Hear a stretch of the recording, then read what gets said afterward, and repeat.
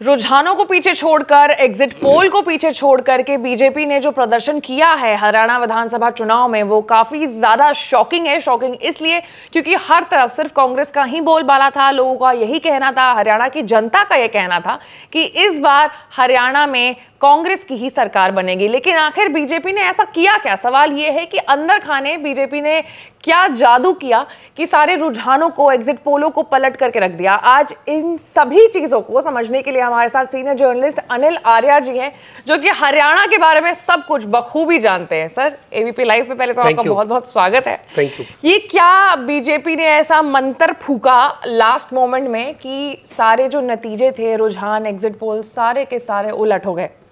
देखिए हरियाणा में ऐसा माना जा रहा था जी। कि इस बार कांग्रेस सरकार बनेगी और कांग्रेस अच्छी मेजोरिटी से सरकार बनेगी।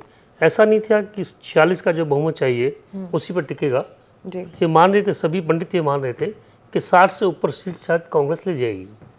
लेकिन जो कांग्रेस को नुकसान हुआ सबसे बड़ा नुकसान तो हुआ कि जाट वर्सेस नॉन जाट की जो पिच है जिससे भाजपा बखूबी खेलती है तो भाजपा की जो बेल्ट है चाहे वो जीटी रोड है गुड़गांव है फरीदाबाद है अहिरवाल है। साउथ हरियाणा और जीटी रोड का जो बेल्ट था उसमें उनका जादू वही चला। वही जाट वर्सेस नॉन जाट का ध्रुवीकरण हुआ जो ओल्ड रोहतक है जिसमें रोहतक झज्जर और आपका सोनीपत जिला आता है वहाँ कांग्रेस का जादू चला है। जी। ये हुआ है। वो जो वोट थी उनको लगा कि अगर फिर वही राज आ गया पहले वाला जहाँ विकास की दिक्कत थी क्षेत्रवाद की बातें थी वो सब मुद्दे कहीं ना कहीं अंदर खाने चलते रहे। दूसरी बात जो शैलजा वाला प्रकरण हुआ था उससे कांग्रेस के ऊपर बहुत बड़ा डेंट पड़ा। जी। जाट वोट था वो कांग्रेस के साथ दिख रहा था हुड्डा की वजह से। और नॉन जाट जो वोट था वो बीजेपी के साथ दिख रहा था। और दलित वोट था दलित वोट की उम्मीद थी कि शैलजा की वजह से कांग्रेस के साथ होगा। और संविधान बदलने का मुद्दा जो लोकसभा में चला कि और ऐसे इशूज थे कि वो कांग्रेस के साथ जाएँगे। लेकिन कांग्रेस ने पहले तो गोहाना और मिर्च वाले कांड उठाए जो उल्टा काल में हुए थे। उनका रिएक्शन हुआ फिर शैलजा का रिएक्शन हुआ। शैलजा की चुप्पी साथ गई। अशोक तंवर को बाद में लेके आए उसका कोई फ़र्क पड़ा नहीं। इसके साथ एक जो और बड़ा मुद्दा रहा वो रहा नौकरियों वाला। जी। जो भाजपा के पक्ष में सबसे बड़ी बात यह है कि उस सरकार में जो नौकरियाँ लगी वो मेरिट के ऊपर लगी। जबकि अब तक ये आरोप लगते रहे कि पैसा दो नौकरी लगा लो। ये मुद्दा भाजपा ने भी करा कि पर्ची खर्ची वाला जो बात चली पर्ची खर्ची के मुद्दे की नीरज शर्मा जो फरीदाबाद से चुनाव लड़ रहे थे एनआईटी से या जो असम से चुनाव लड़ रहे थे या जो कुलदीप शर्मा का जो बयान आया उससे ये लगा कि कोटे से नौकरी दी जाएँगी। तो लोगों में एक मैसेज ये गया खासकर सी एन डी जो क्लास की नौकरी है कि ये तो अगर राज बदल गया कांग्रेस का राज आ गया तो ये नौकरी में फिर वही घोटाले होंगे। तो मुझे लगता है कि इस तमाम ऐसी चीज़ें थी जिससे कांग्रेस को बहुत बड़ी चोट पहुँची है। और एक बात ये भी बड़ी ज़रूरी है इसमें कि कांग्रेस के नेताओं का जो जोश था या जो उनको अति उत्साह था या अति उसको आप लोकसभा के बाद से। कुछ भी कह लीजिए वो लोकसभा के बाद से और हरियाणा में जो लग रहा था कि जीत जाएँगे जीत जाएँगे वो मुझे लगता है वो उनको खराब करके चला गया। बिल्कुल अंदरूनी कला कांग्रेस में एक बड़ा कारण रही है उनके अच्छे हरियाणा में परफॉर्म न करने के पीछे। दूसरी तरफ़ हम बीजेपी में भी जब देखते हैं शुरुआती तौर पर जब टिकट बंटवारा हो रहा था तो कुछ ऐसे नेता विधायक थे जो कि नाखुश थे। सबसे पहले हम देख सकते हैं कि रामविलास शर्मा ही थी। अ, सावित्री जिंदल भी हैं जिनको नहीं मिला टिकट। तो ये सारी चीज़ें थी जिससे एक और मैसेज जा रहा था कि जो बीजेपी के खुद के लोग हैं वो संतुष्ट नहीं है टिकट बंटवारे से। टिकट बंटवारा सही तरीके से नहीं किया गया है जिससे एक और नैरेटिव सेट हो रहा था बिफोर इलेक्शंस देखिए वो जो नैरेटिव था वो नैरेटिव फिर भाजपा के खिलाफ जाना चाहिए था। जी बिल्कुल। भाजपा ने सड़सठ सीटें सबसे पहले अनाउंस की थी और बाद में फिर धीरे धीरे टिकटें उन्होंने अनाउंस की। और कांग्रेस ने बड़ी चतुराई से ये प्लान किया था कि जितनी टिकटें हम लेट डिसाइड करेंगे उससे हमारे यहाँ जो विद्रोह है, कम से होगा।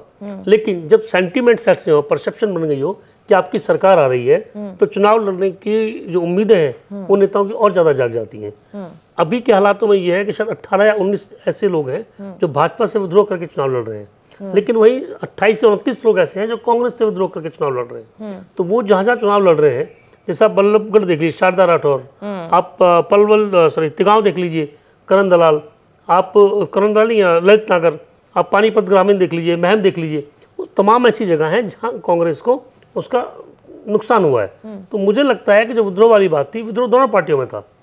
लेकिन भाजपा के साथ और कांग्रेस के साथ एक जो बहुत बड़ा अंतर है वह संगठनात्मक। भाजपा के पास नीचे से लेकर ऊपर तक एक ढांचा बना हुआ है जबकि कांग्रेस के पास प्रदेश अध्यक्ष तो हैं। लेकिन डाउन द लाइन संगठन नहीं है। नहीं है। और संगठन आज से नहीं पिछले दस बारह साल से संगठन नहीं है। जिस पार्टी का संगठन ना हो उसके वर्कर को कैसे मोटिवेट करेंगे आप? मुझे लगता है ये भी कांग्रेस के लिए एक नुकसान की बात रही है। बीजेपी ने दो चीज़ की। एक तो पहले खट्टर साहब को हटाया सैनी साहब को लेकर के आए और उसके बाद अंत में सैनी साहब की सीट बदल दी। तो इसके क्या असर देखने को मिल रहे हैं हमें इस चुनाव में? देखिए हरियाणा में एंटी इनकम्बेंसी की बात तो थी। जी। कि दस साल सरकार हो गया। जी। और हरियाणा में ऐसा पहली बार हो रहा है कि कोई सरकार तीसरी बार रिपीट करने जा रही है बिल्कुल। जो अभी तक के रुझान दिख रहे हैं।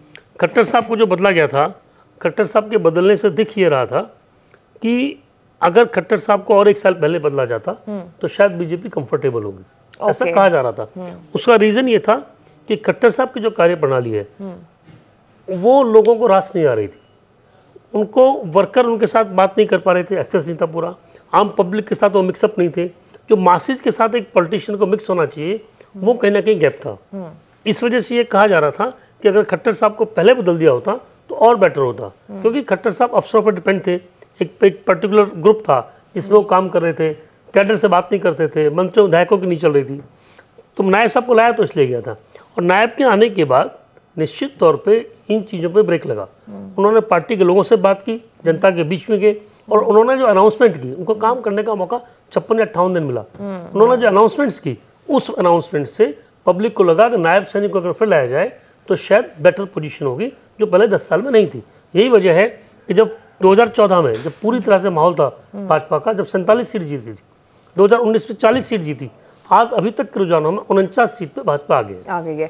बिल्कुल और देखा जाए तो आने वाले समय में महाराष्ट्र में दिल्ली में और झारखंड में भी विधानसभा चुनाव होने वाले और बीजेपी की अगर यहाँ पर जीत जाती है जो कि अभी तक रुझानों को देख करके ऐसा लगता है तो इससे बहुत असर पड़ने वाला है इन तीन राज्यों के चुनाव में। निश्चित तौर पर असर पड़ेगा। क्योंकि एक लिटमस टेस्ट ये माना जा रहा था भाजपा का हरियाणा में और वो तीसरी बार सरकार बनाना ऐसे स्टेट में तीसरी बार सरकार बनाना कि जहाँ जाट डोमिनेट करते हैं और वो कम्युनिटी भाजपा को पसंद नहीं करती है। फिर भी अगर तीसरी बार सरकार बना रहे हो एंटी इनकम्बेंसी के बाद बना रहे हो। तो उससे लगता है कि भाजपा का जादू इस क्षेत्र में चल रहा है। चल रहा है, बिल्कुल। रुझाने जो हैं अभी भी आ रही हैं, लेकिन देख करके रुझानों को ऐसा ही लग रहा है कि बीजेपी हरियाणा में बहुमत की सरकार बनाएगी। अब कारण क्या है? कहाँ कांग्रेस फेल हुई? कहाँ बीजेपी ने बाजी मार ली? इस पर पोस्टमार्टम रिपोर्ट आपके पास जल्द मिल जाएगा, आपके पास हाजिर रहेगा। लेकिन ऐसे चुनाव से जुड़े रहने के लिए, हर एक खबर से अपडेटेड रहने के लिए आपको एबीपी लाइव को लाइक, सब्सक्राइब और शेयर करना होगा। मैं थी आपके साथ, आशीष सिंह आनंद।